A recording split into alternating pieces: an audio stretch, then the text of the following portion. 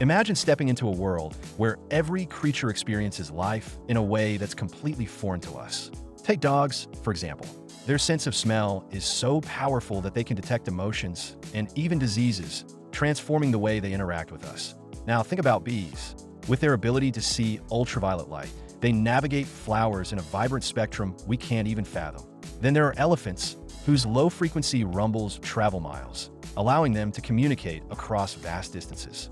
Bats use echolocation, sending out sound waves to create a mental map of their surroundings, while whales sing songs that can be heard hundreds of miles away underwater. And let's not forget the star-nosed mole, with its 22 sensitive appendages that allow it to feel its way through dark, muddy environments. Each of these animals reveals a unique lens through which they perceive the world, shaped by their environments. But urbanization is changing all of this. The sounds, smells, and sights of cities can overwhelm these creatures, altering their natural behaviors and interactions. Understanding these differences not only deepens our appreciation for wildlife, but also highlights the urgent need to protect their habitats.